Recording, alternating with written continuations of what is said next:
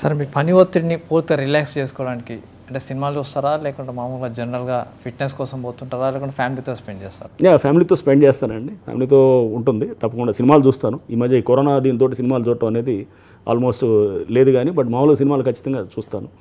Games ఆడతాను. Tennis ఆడతాను. So daily నేను మార్నింగ్ ఏంటంటే కొంచెం నా ఫిట్నెస్ కోసం కొంత ఎక్సర్సైజ్ చేస్తాను. ట్రెడ్మిల్ కొంత మామూలు కొంచెం యూనో ఎక్సర్సైజ్ ఏరోబిక్ ఎక్సర్సైజ్ ఇవన్నీ కూడా చేస్తాము ఒక అదో forty five one hour one hour చేస్తాను. ఈవినింగ్ టెన్నిస్ ఆడతాను. కొంచెం రిలాక్సేషన్ కోసం అనమాట సో ఫ్యామిలీతో కూడా టైం స్పెండ్ చేస్తాను డెఫినెట్గా పిల్లలతోటి నా వైఫ్ తోటి హీరో నిజంగా అంటే ఉంటారు హీరో. అంటే సినిమా హీరోనా. సినిమా హీరోస్ మేమంతా చిరంజీవి గారి సినిమాలు చూస్తూ పెరిగిన ఇది ఉన్నాం కాబట్టి సో నాకు చిరంజీవి గారు అంటే బాగా లైకింగ్ ఉండేది. ఎన్టీఆర్ గారు పాత ఎన్టీఆర్ గారు కూడా అంటే మరీ చిన్నప్పుడు ఎన్టీఆర్ గారు ఆయన అప్పుడు బాగా ఎస్టాబ్లిష్ అయిన hero. Seventies late seventies early ఎయిటీస్లో NTR గారు వాజ్ అ బిగ్ మ్యాన్ అప్పుడు. సో అట్లా మేము ఆ టైంలో చిన్నపిల్లలుగా ఉన్నాం అప్పుడు ఆయన చూసినాం. చిరంజీవి గారు కూడా మేము చిన్నపిల్లలుగానే చూస్తూ మేము పెరిగాం అంతా.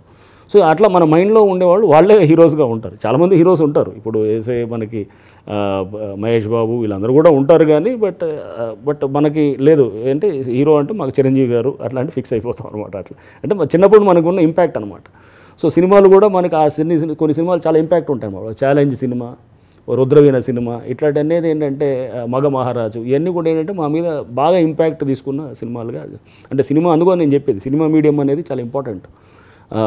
ఇప్పుడు హీరోలు ఎవరైనా కానీ కూడా ఇప్పుడు మీరు ఇప్పుడు వచ్చే జనరేషన్స్ మీద ఇంపాక్ట్ తీసుకురావాలంటే కనుక డెఫినెట్గా పిల్లలు రిలేట్ చేసుకుంటారు అన్నమాట చిన్నపిల్లలు. సో మీరు ఒక మంచి సినిమా తీసి ఒక మంచి సబ్జెక్ట్ మీద తీస్తే కనుక పిల్లలు కనెక్ట్ అవుతారు. అది లైఫ్ లాంగ్ లాస్టింగ్ ఇంపాక్ట్ కూడా ఉంటాయన్నమాట ఆ సినిమాలు ఇవన్నీ కూడా మనిషిని అతను ఒక పర్సనాలిటీని షేపప్ చేయడంలో cinema plays a very important role అనమాట బ్యాడ్గా కనెక్ట్ అవ్వచ్చు గుడ్గా కనెక్ట్ అవ్వచ్చు. ఎట్లయినా కనెక్ట్ అవ్వచ్చు. అది కనెక్ట్ అయ్యేది. సో మంచి సబ్జెక్ట్ తోటి మంచి కంటెంట్ తోటి తీస్తే కనుక ఒక సినిమాని అది తీసుకునేవాడు అట్లా ఎట్లా తీసుకుంటాడు. సో డెఫినెట్గా నా మీద చాలా ఇంపాక్ట్ ఉన్నది రుద్రవీణ ఇట్లాంటి సినిమాలు చాలా ఇంపాక్ట్ ఉంటాయని ఛాలెంజ్లో ఒక రూపాయి మాదిరిగా ఒక రూపాయి తోటి లక్ష ఆ, అది ఉంటుంది. ఆ, లక్ష రూపాయలు చేస్తాడు అతను. అంటే అతను ఏంటంటే లైఫ్ని ఛాలెంజ్గా తీసుకుంటాడు. ఛాలెంజ్ తీసుకొని అతను యూనో సంథింగ్ ఏదో యాభై లక్షలు సంపాదిస్తానని అంటాడు. సో చేసి చిరంజీవి దాంట్లో ఆ, రావు గోపాలరావు వాళ్ళ మామగారు ఇది ఉంటుంది. సో అది అది అది ఈవెన్ అప్పుడప్పుడు ఇప్పటికీ చూస్తుంటాను సో అంటే ఇచ్చాలి ఒక మనిషి అనుకుంటే సాధించలేదు ఏది లేదనేది ఆ సినిమాలో ఉన్నటువంటి ఆ- మీనింగ్ దాన్ని తీసుకోవాలన్నమాట. దట్స్ యూనో అంటే డబ్బు అనేది కాదు ఒక మనిషి అనుకుంటే అతన్ని ఆపగలిగే శక్తి వాడికి లేదు. అతని ఇన్నర్ స్ట్రెంగ్త్ గట్టిగా ఉంటే కనుక ఏదైనా చేయొచ్చు అనేది ఉంటుంది.